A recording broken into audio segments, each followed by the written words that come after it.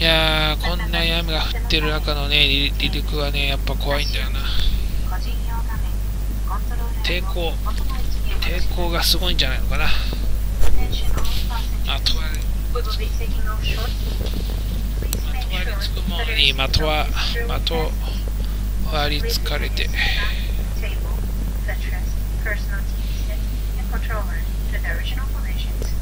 あでも雲の上に行っちゃえばすっかり乾くんじゃないですかね。早く雲の上に上がりたいっていう感じですね。このね滑走路までたどり着く時間が何とも言えないね。なんかドキドキするんだよな。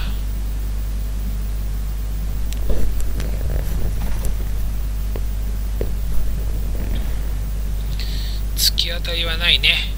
どっちかに曲がるんだね。どっちに曲がるのかな。お反対方向か。この辺から加速するんじゃないのかな。どうかな。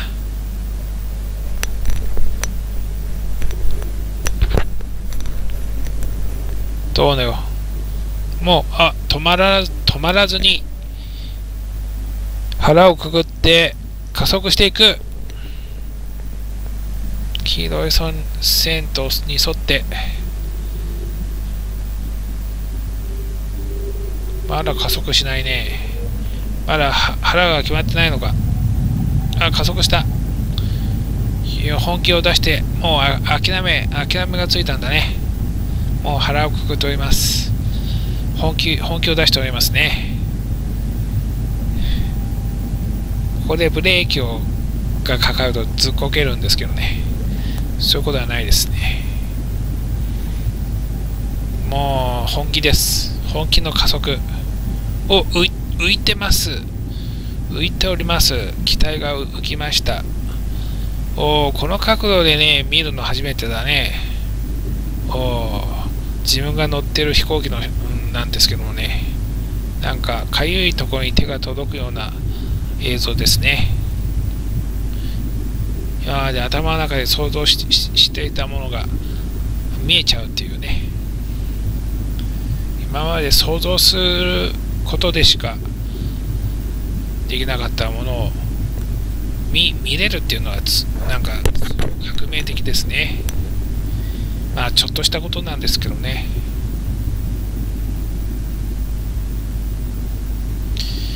早く雲の上に行って体の湿りを乾かしたい。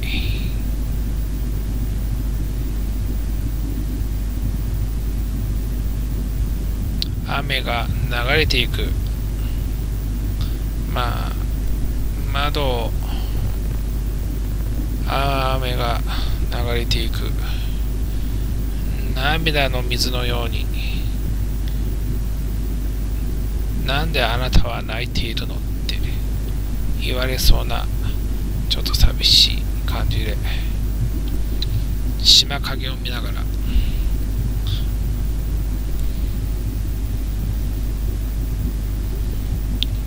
早く久米の雲の上に上がって機体を乾かしたい感じです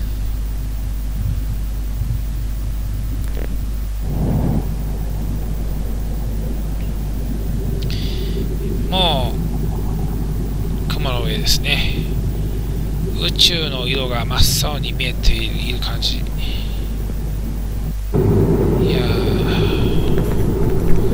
あとは東京までまっしぐらでございます。青い空白い雲伸びる翼。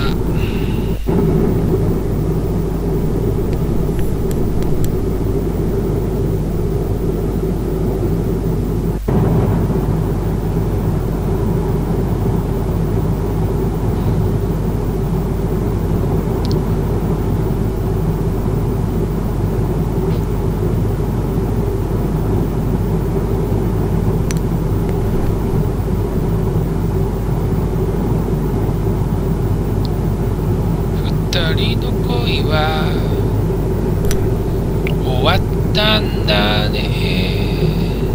許してさえ。くれないよ前。さよならの。顔見ないで。去っていた。女の心。さんと甘みのようなあの頃を思い出せばさんと甘み悲しくて目の前が暗くなるさ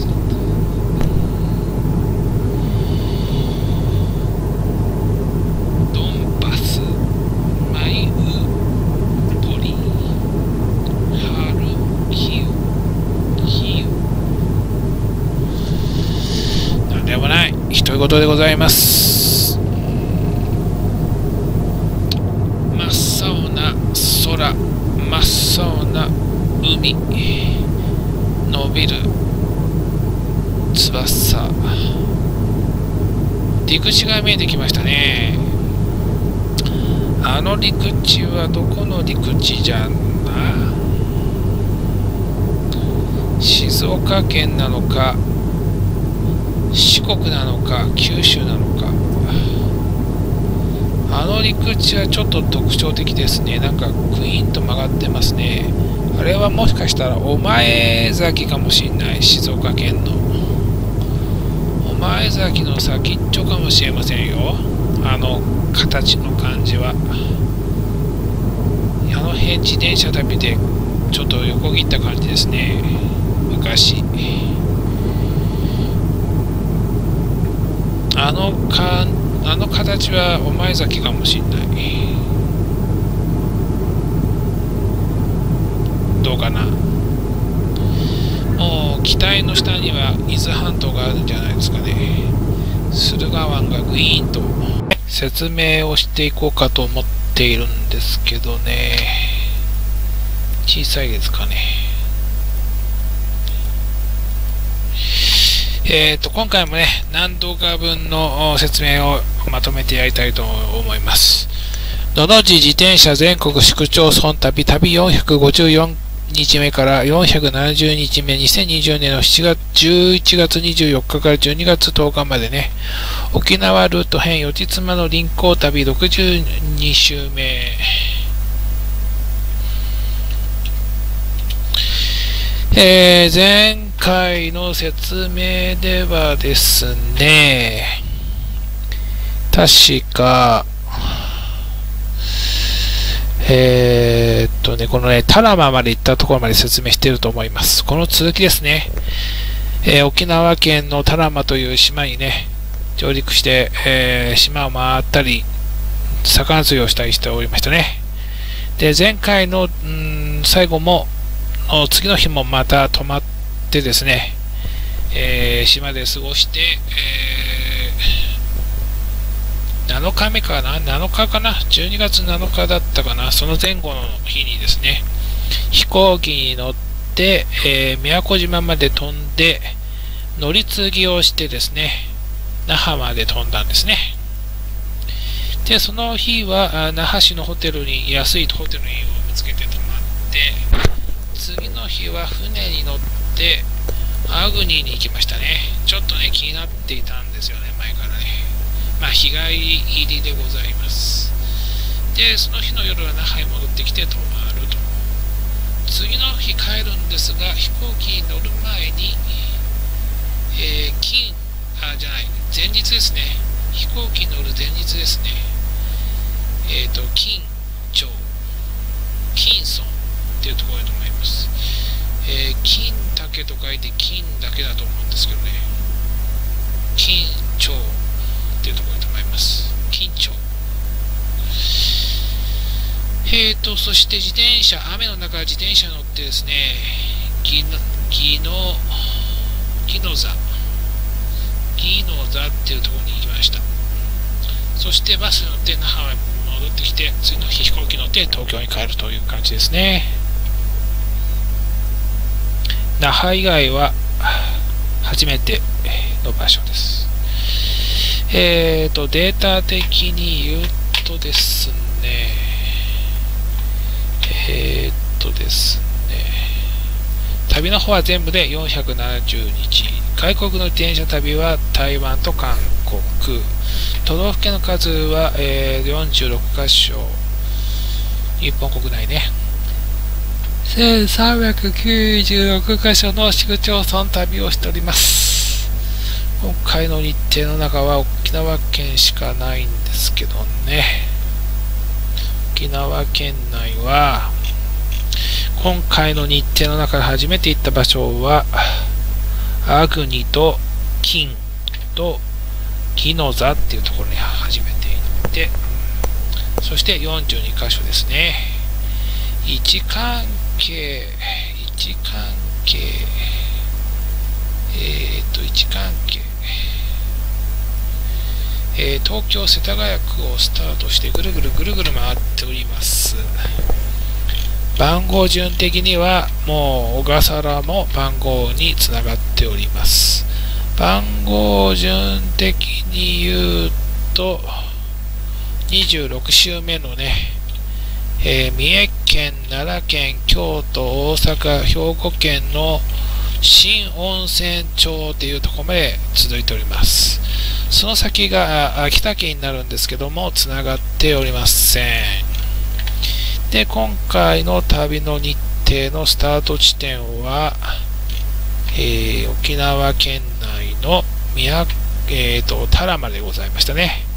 ここから船、えー、飛行機乗って宮古島に戻って、そして那覇に戻っていって、そしてここから船に乗って、えー、っとですね、まあ、え、っと、まあ、宮たタラマっていうのがですね、えー、っと、69週目、そして宮古島が68週目で、那覇は